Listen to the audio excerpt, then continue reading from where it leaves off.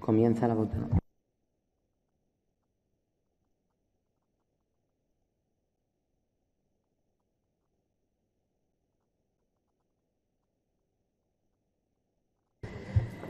Candidatura presentada por el Grupo Parlamentario Popular 813662.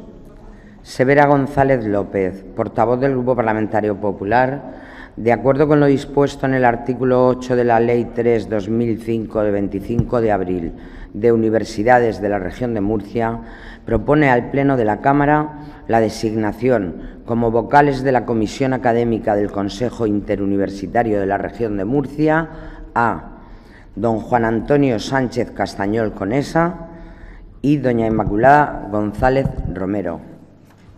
Gracias. Las reglas aplicables a la votación.